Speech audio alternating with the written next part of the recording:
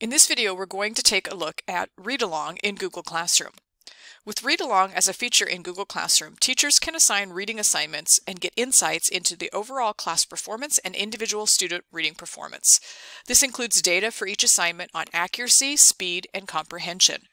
Read Along has a library of diverse reading materials, both fiction and nonfiction, eye-catching illustration, and an engaging reading experience. It provides real-time feedback and offers assistance to students when they are struggling. It encourages and rewards them with stars and badges when they do well, and it guides them along as they progress. So let's take a look at Read Along in Google Classroom. I'm going to go to my Google Classroom. I'm going to click the Create tab, Create button, and I'm going to go to Assignment.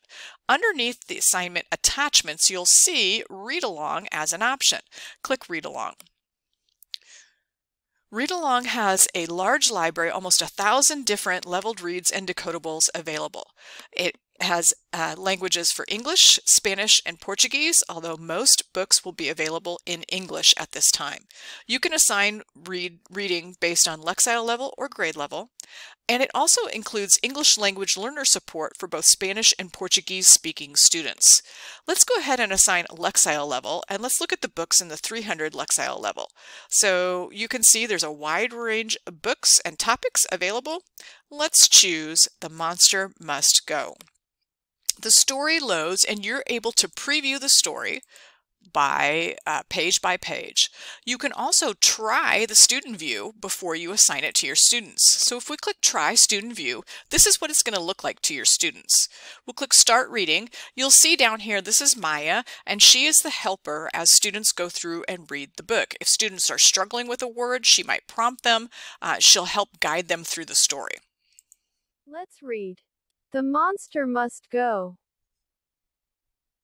There is a monster in our house.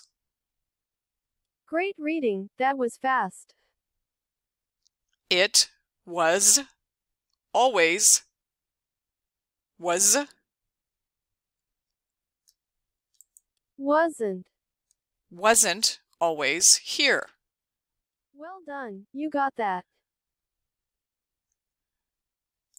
One day, it just turned up.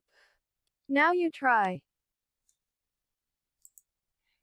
So you can see how Maya would help the students read uh, read the story if they were getting stuck. So we'll go ahead and click attach. And this will attach that read-along story to this assignment. We'll go ahead and give some instructions.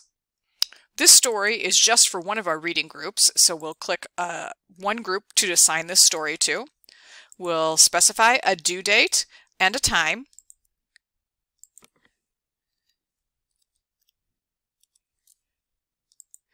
We'll choose a topic.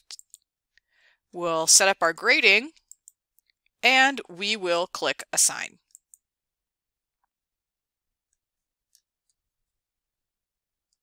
In the next video, we'll look at monitoring student progress as they work through your read-along assignments.